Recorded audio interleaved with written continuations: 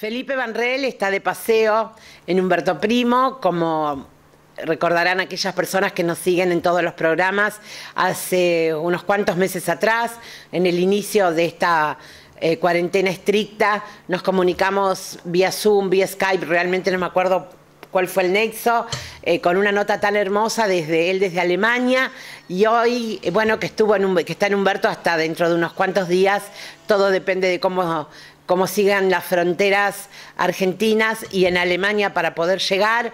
Hablamos con él acerca de, bueno, de su vida, de cómo está, de cómo vivió la pandemia, de cómo encuentra Argentina, un ser tan cálido, tan dulce. Es un placer inmenso charlar con Felipe, a quien conozco desde muy, muy, muy pequeño, y su predisposición para llegar a nuestro canal, para poder charlar y para...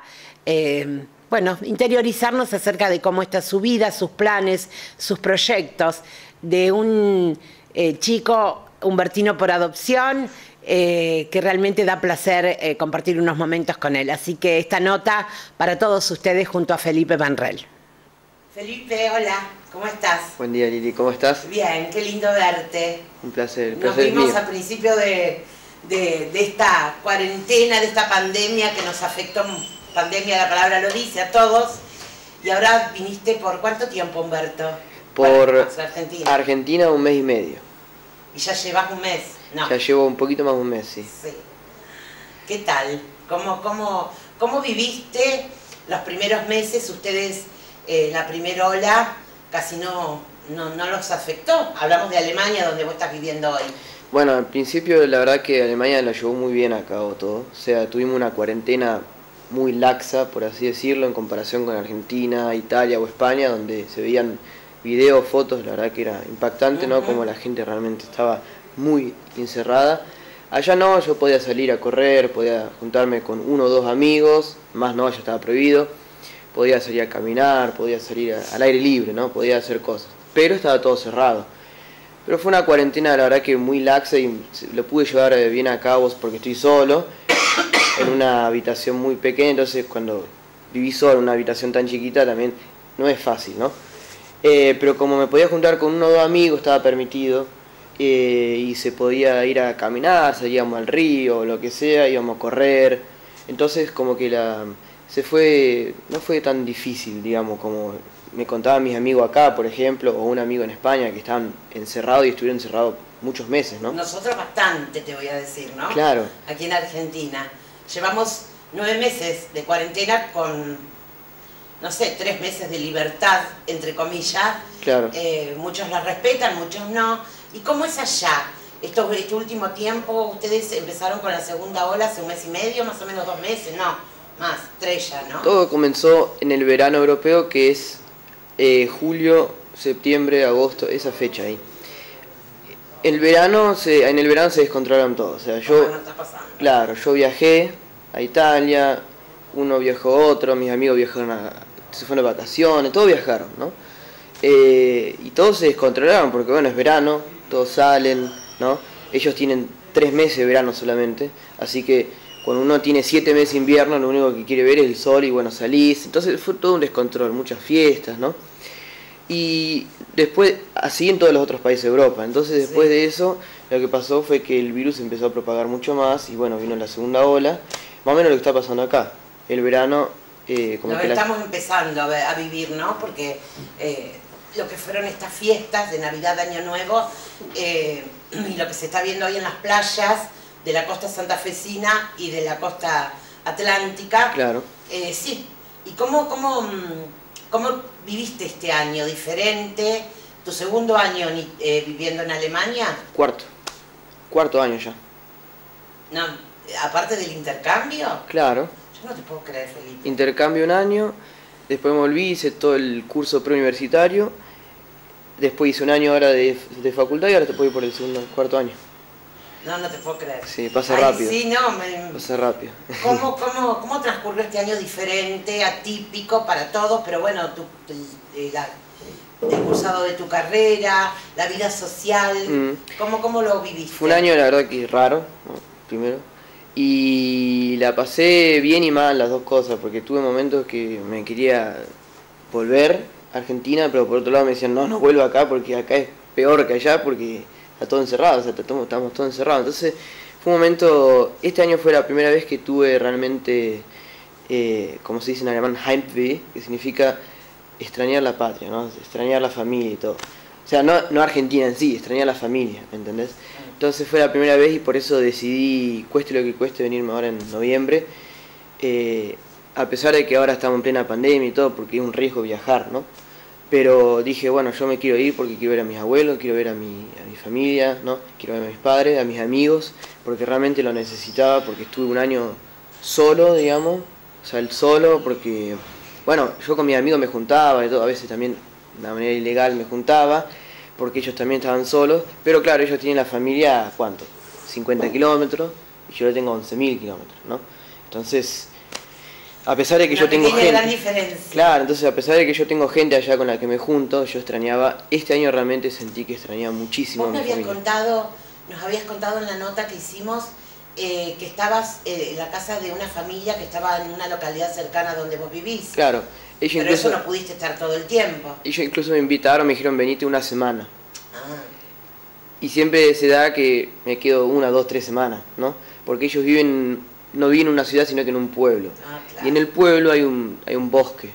Entonces, en plena pandemia, íbamos a dar vuelta por el bosque. Me acuerdo ¿viste? que contaste eso. sí. Claro, y yo iba a correr por el bosque, porque total no había nadie, ¿sí? Y no estaba mal visto salir, como tal vez estaba mal visto acá en Argentina, el hecho solamente de salir, ¿no? Y yo salía la- así al, bosque, ¿viste? Por lo menos veía algo distinto, porque está todo el día encerrado, ¿no? Y la facultad era todo vía Zoom, como fue acá. Sí, sí. Entonces me quedé tres meses ahí, pero me volví, porque aparte a mí me gusta vivir solo, ¿no? Eh, Ah, o sea, que una, una, Y una sí. tipo Lili, una contradicción. Y a veces porque- la soledad pesa, pero está bueno vivir solo. Claro, claro, el tema es que Es dueño absoluto de su vida. Claro, el tema es que yo estoy con dos personas grandes y el hijo, pero que el hijo va y viene, y con dos personas grandes y ya no estoy acostumbrado. Claro. O sea, la verdad que desde que vivo solo me encanta vivir solo, ¿no? Eh, entonces como que, bueno, tres semanas así, viste, que comí riquísimo, porque... comí riquísimo. ¿Cocinás, Feli? ¿Cocinás vos? Sí, poco, la verdad, porque tengo... Mi, mi habitación es 3x4, o sea, son 12 metros cuadrados, ¿no? Claro. Tengo mi habitación ahí, mi escritorio, tengo todo ahí, y Claro, la cocina. monoambiente. Y la cocina, que son dos hornallas eléctricas y la, el, la nafe, ¿no? Entonces ahí no puedo hacer mucho, no tengo ni horno ni microondas, o sea, no puedo hacer mucho. Entonces lo que yo hago es fideo, digamos, y suponete, si quiero hacer milanesa, pollo, algo así, ¿me entendés? No puedo, porque si no se me, Oh, me llena todo horno, ¿me Y contanos eh, cómo, cómo fue este año de facultad, vía Zoom, eh, cómo, cómo, lo, cómo lo viviste. Bueno, fue todo, como decís, vía Zoom, todo por videos. Eh, también muy nuevo para los profesores de Alemania, todo. No es que por el hecho de ser Alemania, o sea, la verdad que los sorprendió a ellos también, tuvieron que tuvieron un tiempo que reacomodarse, ¿no? Reinventarse y encontrar una solución a todos estos temas. Y, bueno, o sea, también darnos a nosotros un espacio, ¿no? De dónde estudiar, porque, por ejemplo, yo tengo, como te digo, esa habitación tan chiquita, llega un momento en que no podés ya estudiar ahí, ¿no? Porque haces todo en esa casa, ¿no? Incluso estudiar como que uno se distrae mucho. Entonces, eh, lo que hizo la facultad, por lo menos la de Bonn, donde yo estudio, eh, agarró ciertos espacios, digamos, por ejemplo, donde era la cantina, que estaba cerrado, y pusieron mesas, todo separado, con un protocolo importante, donde podíamos ir a estudiar ahí. Tenías enchufe para la computadora, tenés wifi, tenés todo, no te falta nada. Pero ir a la facultad en sí no estaba permitido, no está permitido hoy incluso, o sea, y ahora hasta no sé cuándo va a estar permitido, la verdad que el volver a clases como lo conocemos todo, pero todo lo que es rendir, todo eh, de manera escrita, suponete, eh, ahora en febrero también voy a tener que rendir, eh, tengo que hacer tres trabajos escritos, eh, y si no, por un video, digamos, como también lo conocen los chicos acá, que rindieron, ¿no? Que te ponen una cámara, otra cámara acá, para que veas que no, que no te macheteas o algo así. Y si no, bueno, eh, estudiando, como siempre, pero raro, porque, mm, qué sé yo, es un La video, ¿no? es, difí- es diferente. Claro, hay una sola ventaja, que es cuando grabamos los videos, teniendo en cuenta que son en alemán, yo puedo retroceder cuando no entiendo algo. Entonces, si yo no llegué a entender una palabra, o una frase, o un, no sé, algo, retrocedo y escucho Claro. vuelta. Tenés Diez la veces. posibilidad de leerlo mil veces. Claro, 10 veces. Y lo mismo con todo lo otro. Si me perdí escribiendo algo, lo que sea, vuelvo. Esa es la única ventaja, que me encantaría que para algunas materias siga así. Y yo creo que va a ser así bastante hasta por lo menos fines del 2021 eh, vamos a seguir de esta manera. Sí. Y cómo, mm, cambiando así un poquito de tema y de, de tus raíces argentinas, ¿cómo ves Argentina hoy? Bueno, eh, siempre complicado de describir Argentina. Eh, Lo charlamos en aquella nota, ¿te acordás? Sí, eh, lo habíamos hecho desde mi casa ya, ¿no? Sí, sí. Yo lo veo a Argentina más allá del COVID y todas esas cosas, ¿no? Porque ahora, bueno, el COVID nos afectó a todos. Pero bueno, Argentina lo veo lamentablemente no como un lugar que quisiera volver ahora ya, para vivir de vuelta, ¿no? ¿Quisieras? No, Ah, no. O sea, ya lo dijiste eso. de aquí a seis años todavía no me veo en Argentina. Porque mm, si bien a mí me gusta Humberto, me gusta Santa Fe, porque tengo mi familia y todo, pero hay una gran diferencia, yo soy turista ahora acá. Y el turista ve lo superficial, yo no trabajo acá, yo no me gano el pan acá. ¿sí? Entonces el, el- el turista, como un turista que va a Alemania, ve Alemania, ve todos los, los edificios lindos, pero no ve la realidad. ¿no? Y eso me pasa ahora a mí, cuando yo vengo acá de turista, me encanta, ¿no? Pero no quiero caer tampoco en la trampa porque a veces también me dan ganas de quedarme, ¿no? Porque tengo todo, ¿no? No, tengo, no quiero caer en la trampa de decir, bueno, me quedo y después darme cuenta de que en realidad mi futuro está allá, lamentablemente. Por lo menos lo que yo me estoy, lo que yo estoy buscando para mí, ¿no? Porque yo ahora allá tengo un trabajo de estudiante, pero tengo un trabajo que gano bien, estudio, me va muy bien con la carrera. Después lo que yo haga es otra cosa, eso no sé, yo no planeo de acá a 10 años. Pero, ¿me entendés, tío? O sea, cuando uno es turista ve solamente la, la, Nos muestran lo lindo. lo superficial. Y cuando yo vengo acá, la verdad que me encantaría quedarme acá. Pero cuando hablo con mis amigos y todo, la verdad que la realidad es dura. Eh, cuando ves solamente cuando sube el dólar, cuando sube el euro, o sea, eso más... Realmente Argentina no siento que me brinda, un, me brinda una perspectiva para el futuro. Y no me pasa a mí, o sea, no soy yo, me pasa a muchos amigos míos que incluso me están preguntando de irse, de hacer un intercambio fuera, ¿no? Eh, es, es difícil, digamos, Argentina. ¿Qué se ve o qué se sabe de Argentina en el primer mundo, en Alemania? Mirá, poco y nada, o sea, se sabe de Argentina y todo, pero no es un país que vos decís, bueno, realmente está todos los días en las noticias, o sea, se sabe, Argentina Se supo que murió Maradona, ¿no? se supo. No, no, lo de Maradona fue algo extraordinario, o sea, en todos los países que yo fui viendo, la verdad que lo de Maradona Sí, fue increíble. mundial. Alemania al toque, todos los diarios con la cara de Maradona, eh, documentales, o sea, lo de Maradona fue increíble. Pero bueno, él fue algo mundial, ¿no? Y tuvo un gran éxito en Europa. Sí, lo que me- a lo que voy es a esto. Eh, más allá de lo que fue Maradona, que es indiscutible como eh, deportista, el más grande a nivel futbolístico, eh, somos titulares Claro. a raíz del fallecimiento de una persona que hace años se retiró y que siendo, sigue siendo referencia de Argentina. A lo que voy es a esto, no estamos en los diarios por eh, un gran descubrimiento, por tener, eh, porque nuestra situación socioeconómico, porque esto es social, también Sí. afecta, estemos en, la- en los titulares. ¿Y qué es lo que... Vos recién dijiste algo que me sorprendió, que cuando un turista va a Alemania ve lo más lindo. ¿Qué nos faltaría conocer para conocer bien Alemania? Me refiero a que uno ve lo más lindo porque uno está 15 días y en 15 días uno puede conocer la realidad. Bien, pero ¿no? ¿qué es lo de Alemania que uno no sabe? Y las costumbres, las eh, decir ir a un bar donde están los alemanes verdaderos, digamos, tomando cerveza, pero ¿no? Ir a las fiestas, típico, ir a las fiestas tradicionales, esas cosas que uno no ve. Uno va y tiene una, concep- una concepción de Alemania que no es esa, o sea, a menos que te quede seis meses, suponete, pero Claro. en las costumbres, los hábitos, eh, bueno, cuando uno ya se mete más dentro del idioma, ¿sí? Porque todo eso, y lo mismo acá en Argentina, cuando viene la gente acá, eso es lo que me refiero, digamos, conocer Alemania eh, desde las, bien las raíces, ¿no? Porque hay infinidad de cosas que son muy interesantes que uno, claro, como turista, obviamente no, no puede verlo en 15 días. ¿Qué es lo que más te atrapa de Alemania? ¿Qué es lo que te hace que ya tengas dos, tres centímetros de raíces? La bueno, tengo amigos, ¿no? Eso sobre todo. No son como mis amigos acá. Mis amigos acá son incondicional. No se, con, no se negocia. No. Tengo amigos con los que me llevo muy bien, pero mis amigos están acá, obviamente. La libertad que tengo yo, como vivir solo, ¿no? Independiente, y aparte la libertad que te da Alemania como país, digamos que libertad en todo, de estudiar, de que vos te puedas tomar un tren solo sin que tengas Sin miedo, de- sin inseguridad, sin que tengas miedo que te roben, lo mismo que vuelvas a las 4 de la mañana a tu casa, estés borracho, ¿no? que no te pase nada. Eso por un lado la libertad y por otro lado eh, el clima lo que no me gusta mucho, pero lo que me brinda para el futuro, digamos, las, las puertas que me abren, ¿no? Porque si yo de última no, no terminaría el estudio, puedo trabajar, ¿me entendés? O sea, tengo puertas, muchas puertas a las cuales ir, ¿no? Y amistades que me ayudan también en eso. Eso es lo que más me gusta de Alemania. Y obviamente lo afectivo, que son mis amigos, pero que eso con el tiempo se va a ir... Va eh, mutando. Claro, y aparte se va a ir eh, haciendo cada vez más, Afianzando. y haciendo cada vez más fuerte, ¿no? Escúchame, Felipe, ¿y qué es lo que, aparte de tus afectos, ¿no? ¿Qué es lo que más extrañas de Argentina? La comida de la abuela Cookie.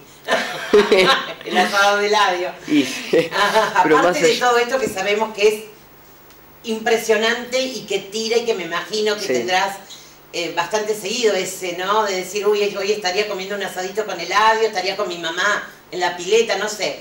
Pero aparte de eso, ¿qué es lo que más extrañas de Argentina?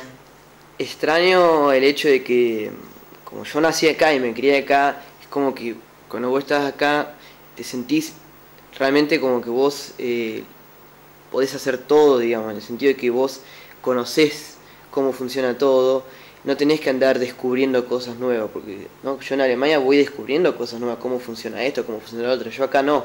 Eso es algo que se extraña, así que yo llegue y no tenga que andar averiguando cómo conseguir un inmobiliario, una casa, ¿no? Cosas así, ¿entendés? Entonces yo acá sé dónde está la panadería, entonces voy a la panadería y voy, ¿me entendés?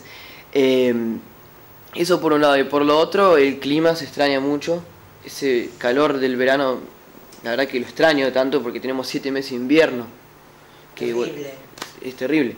Y por otro lado, también, más allá de lo afectivo, el tema de que mm, no somos tan... eh, esa forma de ser nuestra a veces, que no somos tan formales como los alemanes, que son muy serios, muy Somos cálidos. más nosotros. cálidos, claro, porque ellos son muy serios, entonces hasta que puedas hacer un chiste con uno lleva tiempo, ¿no? Ah, Eh, esas cosas a veces a mí me chocan y la verdad que las extraño acá, de que vos, qué sé yo, salga a barrer y te ponga a hablar con el vecino. Suponete, así, o que salga a tomar un café y te encuentres con uno que ni conoces y te pone a hablar.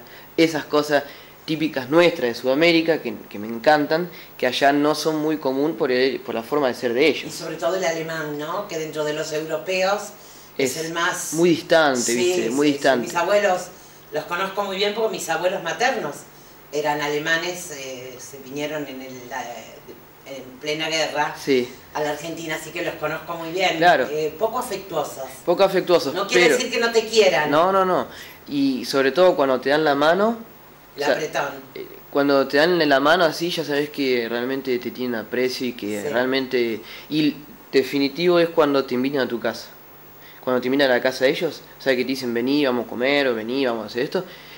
Eso significa, porque la casa es la privacidad, viste, de, de una familia, de una, de una persona. Entonces cuando ellos te invitan a tu casa, sos significa parte. que sos parte. O sea, ya te dio la mano, te invitó a tu casa, ya es una amistad eterna, digamos. Qué bueno. ¿Y mm, qué proyectos tenés a futuro?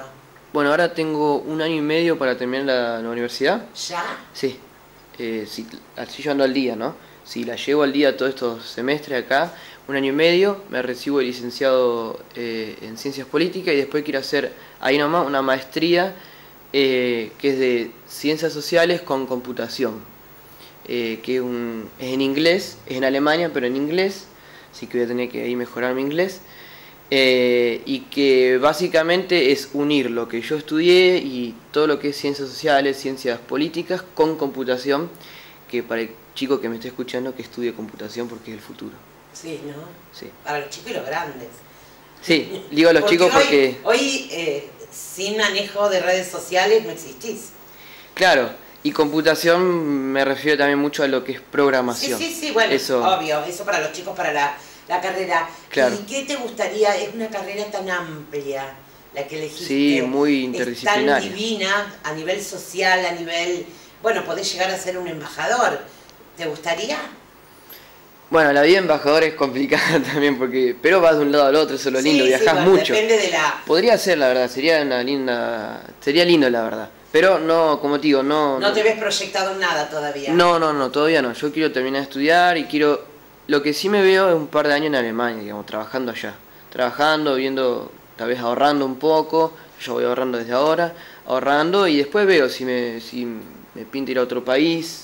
Veo, porque uno de estos es también un poco año ¿Tenés tras año. amigos alemanes o te hiciste de amigos de otros lugares de Europa? De otros Ambos, o países? sea, tengo sobre todo amigos alemanes de la facultad, de que vamos a jugar el fútbol, pero tengo por ejemplo un amigo de Ucrania eh, que estudia también conmigo y bueno, nos hicimos amigos ahí eh, y algunos ¿El amigos... solo también en Alemania? Sí, Claro. sí, sí. Y otros amigos también de Sudamérica con los que también juego el fútbol, eh, de Argentina, Perú, Venezuela, ¿viste? todos los países.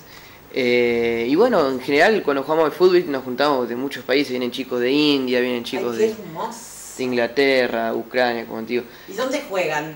Y hay, una, hay muchas canchas y uno puede ir, digamos, mientras no sean privadas, uno puede ir y jugamos ahí. Ah, canchitas públicas. Claro, claro, claro. cosa que no tenemos acá en Humberto, por ejemplo. No, y son canchas la verdad que muy lindas, pues es pasto sintético, porque el pasto acá como acá no crece tanto, entonces es pasto sintético y... Claro, tener tanto invierno. Claro. Escúchame, eh, ¿y qué haces en tus ratos libres? ¿Fútbol que te encanta? Sí. ¿Jugabas al fútbol acá en un...? Jugué un tiempo y Me después acuerdo de dejé. chiquitito en la plaza que Y jugabas. claro, y después dejé, ah bueno, con amigos, claro, pero en el club un tiempo y después dejé, porque después hice tenis, me acuerdo. Claro, fuera del tenis. Sí, y ahora ya juego al fútbol porque tenis es un poquito más caro. O sea, fútbol, como te digo, podés jugar. Popular. Sí, podés jugar en cualquier lado. Es pero- popular a nivel económico también. Y qué bueno, viste que el fútbol, el crisol de razas, ¿no? Te va Sí, llevando... sí, sí. ¿Y qué más haces? ¿La- ¿Discos? No, ahora no se puede. No, lo que hago es, No eh, digamos, tengo un, me quiero comprar un piano, porque yo toco el piano, me quiero comprar un piano y tocar el piano, eh, ir a clases, que también es bastante caro, pero bueno, haciendo un poco de economía podemos ver si lo podemos acomodar, pero me encantaría tener clases de piano. eh, y después lo que hago también, bueno, trabajo, ¿no? ¿Seguís en, la, Sí, sí, sí, en sí. el museo era, sí, no? Sí, sí, sí. Trabajo eh, máximo 20 horas semanales, digamos, y ahora en vacaciones puedo trabajar un poco más. Así que tengo bastante ocupado, digamos, y voy al gimnasio. Así Muy que bien, estás hermoso, Felipe, tan grande. Escuchame, Feli, ¿la noche? ¿Cómo pasan en pandemia? ¿Clandestinas como acá? sí, pero había clandestina cada tanto, pero éramos ¿cuántos? 25. O sea, La éramos niña 20. clandestina. Éramos- Acá son masivas. Son más grandes, sí. Bueno, realmente un placer, un placer verte, un placer verte tan feliz. El placer es mío, Lili. Porque tenés una sonrisa que eso no se compra ni puede fingirse, el brillo en los ojos tampoco se puede fingir, eh, y verte tan bien y verte tan bien posicionado a nivel personal y profesional, que un chi- estando solo en un país desconocido como vos decís y tener ya la amplitud mental, porque eso te lleva, ¿no? El vivir solo y el estar tan lejos de los afectos, eh, te lleva a ser responsable de tu vida, Sí. saber que sí, que no, más allá de todas las tentaciones, como en todas partes. Sí. Eh, bueno, que, que la vida te siga brindando lo mejor. Te, sos, sos un ser de luz, sos maravilloso, Felipe. Muchísimas gracias, Lili. Y bueno, un saludo a todo Humberto. Gracias, gracias por este espacio. Muchas gracias. Mucho, mucho éxito. Gracias. Muchas gracias, un placer.